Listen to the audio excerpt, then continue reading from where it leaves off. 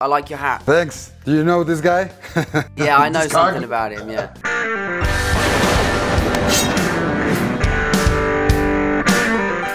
It's the biggest treasure that's never been found.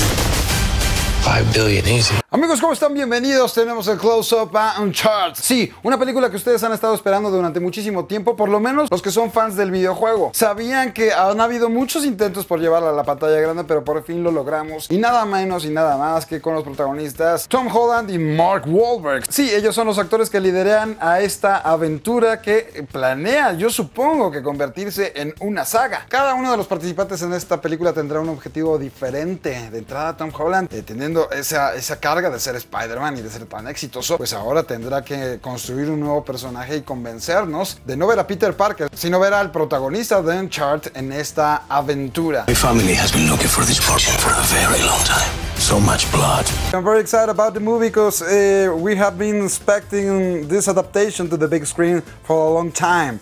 How do you think the fans gonna take it? I think they're gonna love. If they're a fan of the games, you know, I think they'll love it. It's, of course, very nerve wracking, but in the best of ways. I'm really excited for those who are fans of the games um, to see this. Um, I think that it really holds up to the integrity of the games, um, the characters that, that you you know get to meet, re, be reintroduced to in the real world gives a, a different approach. Um, I think to the fans of like you know of of Sully and Nate's first meeting and a part of Nate's life that you don't get to really see in the games. I'm excited to see how, how people take it. Pretty sure he's just threatening to kill me.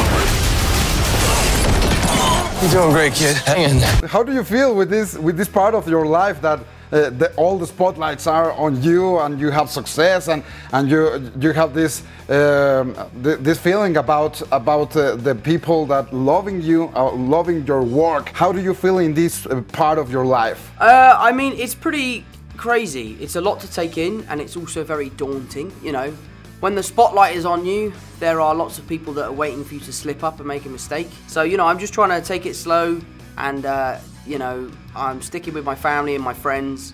Um, to just make sure that I, you know, stay true to myself and don't get too caught up in the, the whirlwind that is Hollywood. You are a collector. Well, I dabble. I don't dabble. I'd like to know if you were familiar with Uncharted before getting involved in the project. Yeah, I mean, I've been involved with Uncharted since uh, about 2010. When David O. Russell and I had done The Fighter together, we then decided that we were going to adapt Uncharted for the big screen. And I stayed on board for over 10 years. And when they called me and they said they were finally ready to make the movie, I was excited. And then I realized pretty quickly that they didn't want me to be Nathan anymore. They wanted me to be Sully, which was a bit of a change, but I welcomed it with open arms. So I- And I thought it would be more realistic for me to be Sully than Nathan Drake while I'm 50 years old. Oh my God! I shouldn't have come out to play with the big boys, Ian, because you're about to get a proper Scottish welcome. Uh, how much uh, it's uh, fiction? How much is original? And how much is based on the video game? Well, it is an origin story, you know, so it's not really based on the video game story wise in that way. Um, it's like the prequel to it. But I would say that, like, as far as like the, the events that happen, it sort of mimics like the fourth game.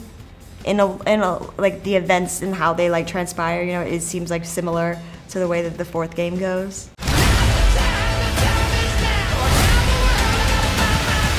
Can you tell me more about your character, please? Braddock is a treasure hunter.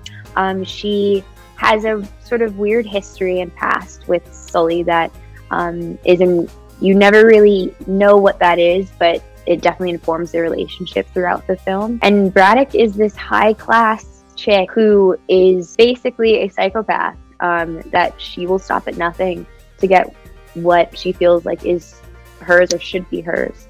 Um, and that's the goal. So she's ruthless, um, she's relentless, um, she's very powerful, she's just a badass. You're here because you're your brother. Well, you know my brother Sam?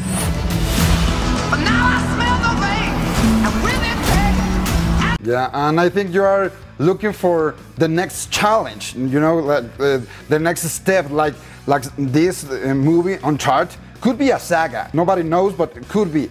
So you are looking for that uh, uh, another universe. Uh, Yeah, I think you're spot on. I mean, I'm always looking for new challenges. Uh, you know, one of the luxuries of being an actor is There's no two jobs the same. Uh, Uncharted is a game series that, you know, I loved growing up playing. It also sold 40 million copies worldwide of this game, so it has a massive fan base. So for me to deliver um, some fan service is, is a huge honour, and I'm just really excited for the world to see it. I have no idea who you partnered with.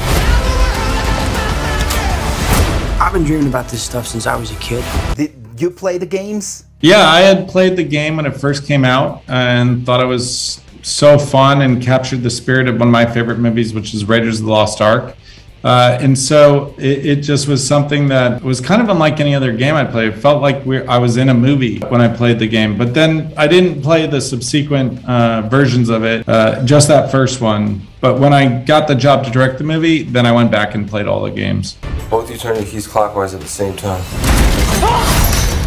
Thanks a lot. You almost got me killed. I didn't really play the games. I was a big video game kid when I was younger, especially arcade games and stuff like that. But by the time uh, Uncharted came around and the height of its popularity, I was already a parent and then became a husband. So between my golf habit, my work stuff, and fitness and everything else, if I then spent another five, six, seven hours playing video games, I, I would uh, I would not be able to keep my wife happy. She would be very upset with me. So, but I did, I did, I was very familiar with Uncharted, and what I loved about it most was how cinematic it was. You know, it really felt like a movie anyway. So I thought, uh, what better movie, I mean, video game to turn into a movie? We could honor the all the fans of the video game, but also introduce a whole new audience who may necessarily have not played the game. Kid, slow down. It's a vintage Rioja. Savor it.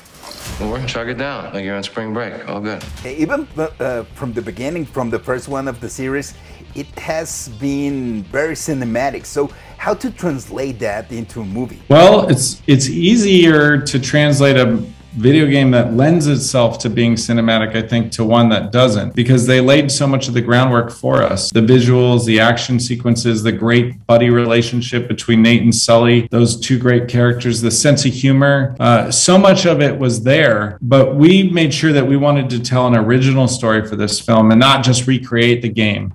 We wanted it to be a different chapter in the Nathan Drake story. Clockwise, Sully! Well, it was 50 50, so I made a guess. Clearly. Voyage was not just about gold. And how about uh, your your participation? Because uh, we know that this this has a, a, lot of action, but I don't know how how much action do you have in, in, in the in the in the movie? Not enough. Not enough. Why? I'm kidding. I'm kidding. I mean, I, I like when I was filming it, I was like, this is so much. And then when I was watching it, I was like, I wish there was more because it looks so good. There are places out there you can't find on any map. They're not gone. I, I think you have to train for this this role. How was the process? Did you uh, did you train uh, any specific way to move, or how how does that work? I had a about three four months of physical training with a with a trainer just to build sort of muscle mass and get physically prepared for the amount of stunts that we were going to have to do.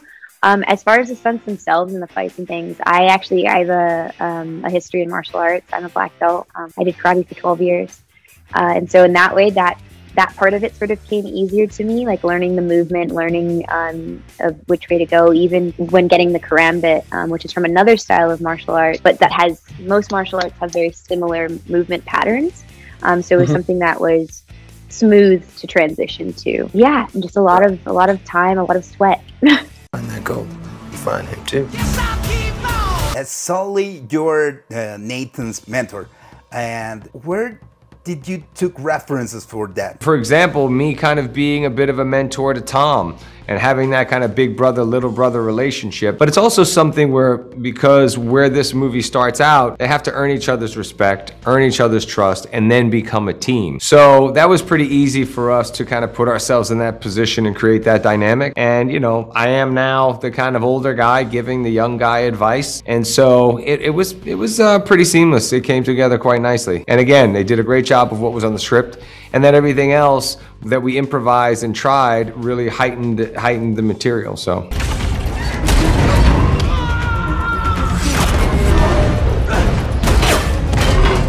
Is the story of the film canon in the Uncharted universe? Our movie is kind of a fresh uh, take on his origin. In the games, they they have flashback scenes that show when Nate and Sully first meet, as well as Nate's childhood, and so we we reference both of those.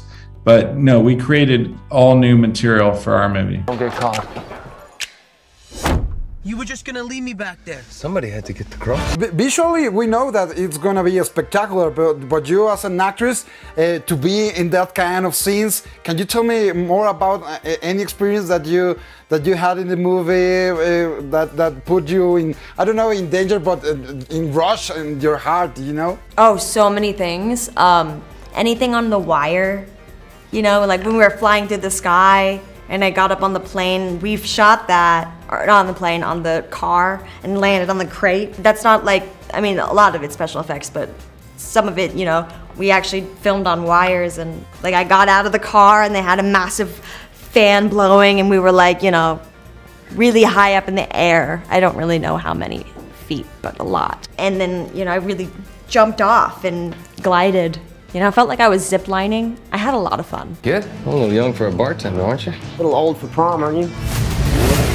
How was Naughty Dog or the studio that made the game involved in the creative process? They had input in the movie or did they let you go wild creatively? It was a little bit of both. Uh, Naughty Dog was involved with the film from the very beginning, and they were a great partner because they were able to help guide us and make sure that um, we were true to the spirit of the game. At the same time, they allowed us the opportunity to just make it our own and have creative freedom to create something totally new.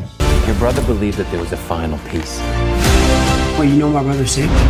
We know that uh, Tom Holland liked to make his own stunts, so I don't know if you participate in that stunt, so, or you have a, an, a, a, a double, or, or you you want to be part of it. Oh no, I definitely like I did all of my stunts for this film myself. Um, I did have yeah, um, and I feel really proud of myself for it. Um, I had two stunt doubles, um, but they only only stepped in on two pieces of two different stunts that were just liability reasons. They wouldn't allow. I really wanted to still do it, but they were like, Tati, no, it's not safe.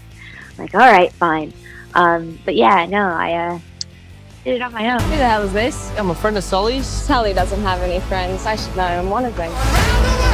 We know that you uh, like to make your own stunts, and you have uh, you have been in movies with superpowers. But now you are a regular guy with no superpowers, but you have to make these crazy scenes. So, uh, is, is that challenge to you in this movie in particular? Yeah, I mean it's definitely a challenge. With with Spider-Man, uh, it's a different way of thinking about action. In Spider-Man, you are thinking about doing a practical stunt, stunt that can accent and and be the jump-off point to a digital takeover. Whereas Uncharted, you don't have that luxury, so you have to think about the beginning of the stunt and the end of the stunt, you know, because it all has to be practical. We don't have that supernatural aspect where Nathan can jump 80 feet in the air and stick to a wall. So it's a very, very different sort of art form.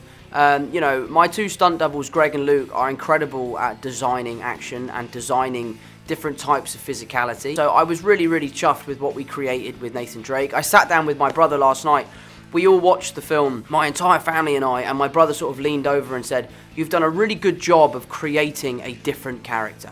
You know, Nathan Drake and Peter Parker are a world apart, while obviously having some similarities. The biggest difference is their physicality. My brother Sam left one final clue. One of the latest videos you talk about the FOMO, the fear of missing out. Could you tell us more about it and if you actually experience it? Um, well, yeah, I feel like I miss out on a lot of things because I, I'm so committed to my work and, you know, I have my routine and everything else. But at the same time, I really wouldn't change it because it's because of my work ethic and everything else. The only thing is the sacrifice between family because, you know, being off on location for months at a time, you know, it's really difficult to make that sacrifice and be away from your family. You don't get that time back. But I'm also trying to teach and instill work ethic and, you know, uh, make sure that my kids have goals and ambition themselves. And so it's just a balance. It's just trying to find that balance. Hey, brother! We found your loose end!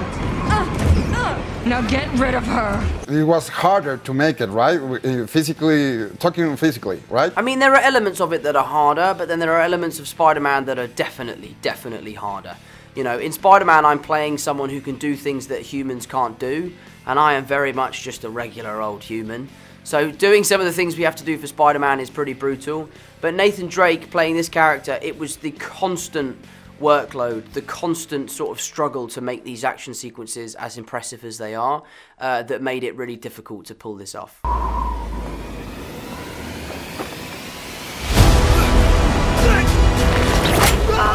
If you could direct any other movie based on a video game, uh, which one would you like to be? I'm working on an adaptation of Jak and Daxter, which I'm very excited about, and I think will make for an incredible film. Another movie I, that I was actually involved with once as a director was a Spy Hunter, uh, the kind of classic uh, game, just because I think it would be so cool to tell the story of a spy that's so badass that he hunts down other spies. I have no idea who you partnered with.